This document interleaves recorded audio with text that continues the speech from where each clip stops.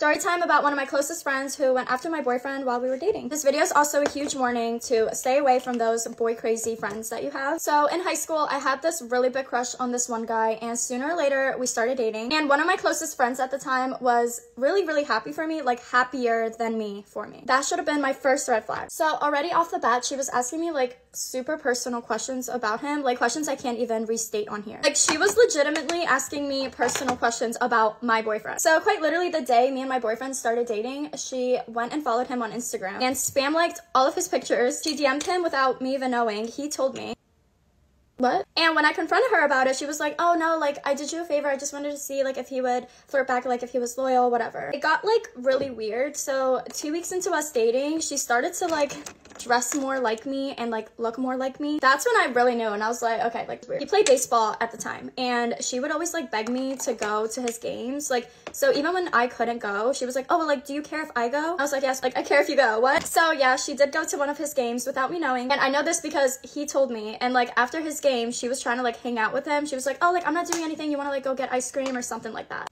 And I was, okay, that was like the moment I was like, this girl has no spine. No spine whatsoever. I was like 15 at the time. Okay, so like the last thing I wanted to do was like lose a friend over a guy. So I kind of just like kept my mouth shut until I couldn't. It wasn't even the comments that like really pissed me off. Like, for example, she would say stuff like, oh, is he a good kisser? Like, can you help me find someone just like him? Like stuff, like comments like that. It wasn't even that. It was what she did before I cut her off. A week before homecoming, she texted me and told me she wanted to meet up and talk. So we met up at a park near my house and like when I saw her, I could just tell that like it wasn't good because she she looked very uneasy. So she was like, I don't know how to tell you this, but like I have a really big crush on your boyfriend. And I was like, no, really? As if I couldn't tell. So that's quite literally what I said. I was like, no, really? Like you don't think I noticed that? And then what she asked me after that just really grinded my gears. She was like, I know things are gonna be a little weird between us now that you know I have a crush on. Like Maggie, you know I never had a boyfriend. I was just wondering like if he could be my date to homecoming.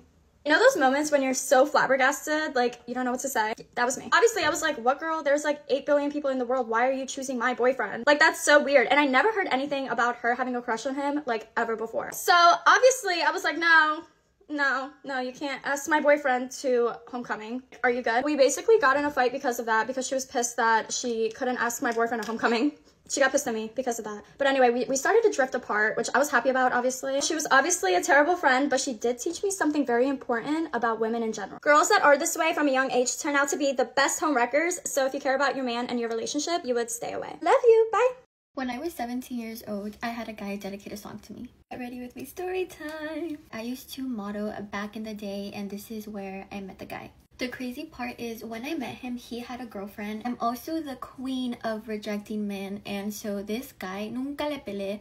I never gave him the attention. I never thought he was cute. And plus he had a girlfriend so I didn't even want to mess with that. At one point, his sister and I were really close friends, and she also used to model with us. One thing I forgot to mention is that this modeling was runway modeling. So we would basically practice in heels, and then every weekend we would go somewhere wherever we were booked and we would model the clothing. Almost a year into me modeling with this company and this instructor, a couple that I've been talking to you guys about basically was in a rough patch. They were like on the verge to break up. A couple weeks later, I ended up finding out that they broke up and I honestly never really had a bond or relationship with him and I never cared to, especially because he was in a relationship.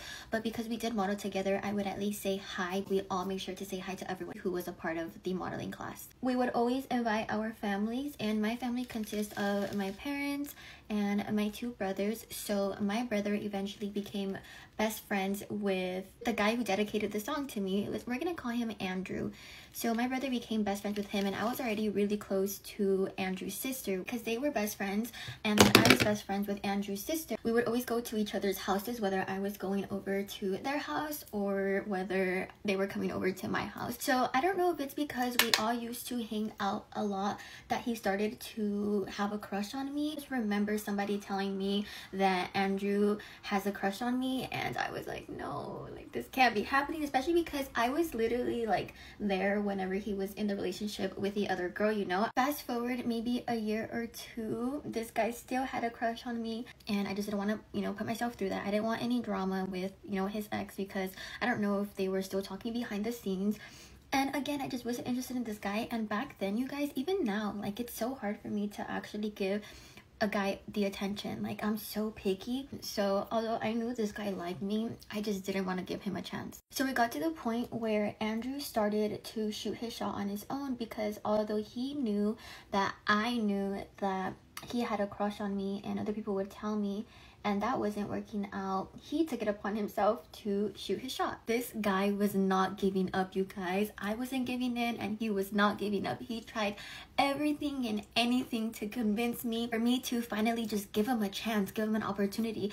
But I would not, you guys. Even to this day, it's so hard for me to just talk to a guy because if I'm not interested in you, then I'm not gonna open my heart out to you. You know, like I don't wanna waste my time and I don't wanna waste your time. This man was still not giving up and it got to the point where everyone started to get involved and they were like, Ash, just give Andrew a chance. Like, he really likes you. Like, he's like, your guys' family already knows each other. He was like, um, Andrew's family really likes you. Like, he's surprised that you guys aren't even dating right now. And I was like, oh my god, the pressure is so real. And I, again, I just didn't want to like give in, you guys.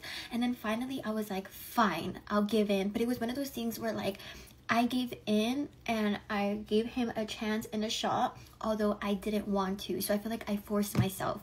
When you force yourself in a situation, trust me, it never goes right. At this point, we were talking now, and I quote talking because I forced myself in this little relationship or this talking stage. So Andrew and I ended up going out and then we ended up coming back to his house.